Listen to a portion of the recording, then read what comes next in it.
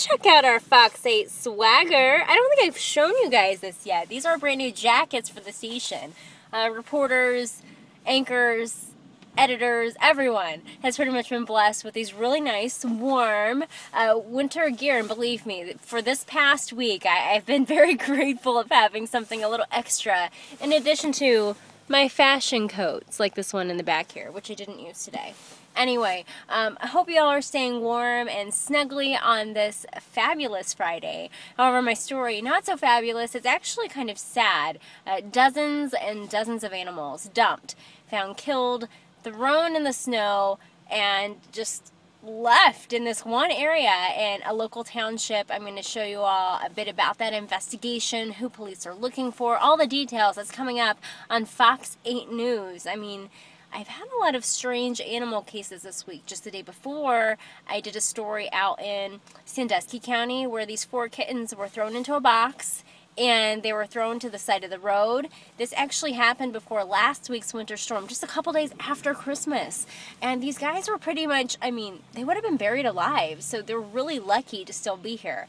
The great part is that those kittens, which I guess you could call them young cats because they're just a few months old, but they are in good health and one of them actually had been adopted out. So I think that it's it's good in terms of the time of year it is. A lot of people in the spirit of things, hopefully many others, especially with those animals out there, a part of what the Sandusky County Humane Society they have so many animals in addition to those four kittens that were brought in they actually have a building that's only equipped to have about 100 in their facility. And get this, they have about 150. So times are really tough for this group. I mean, if they only have the space for so many animals. I'm sure they only have the means to financially support so many as well. But um, there's a lot of good going on out there. You can find out actually more information on fox8.com. Go to Seen on TV, and you can have a link to um, the need for Sandusky County and those animals with the Humane Society. If you want to adopt,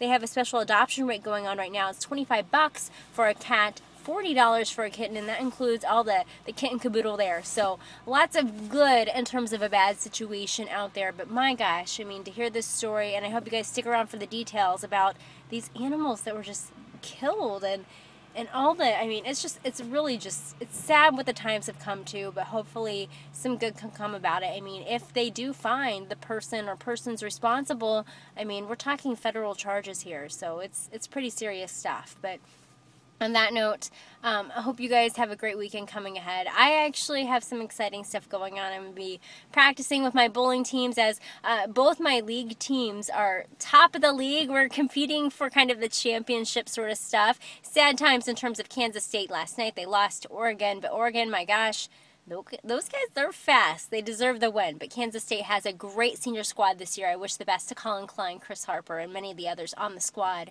they're going to have some great times. Uh, moving on to the pros, and oh gosh, Sunday have an acting role, a great one. Stuff's already up on IMDb. You guys should check out my profile. Just look me up, Annette Lawless, and you can get all the details there. Oh, and tonight I'm just all scattered here. Honey and the Jerk returns. So excited! Von Frey and I are recording tonight. That podcast will be released on iTunes on Saturday evening. So anyway, have a good one, everybody. That's the hashtag. Annette's busy kind of crazy. Hope you all have a great, great, great weekend. Talk to you later.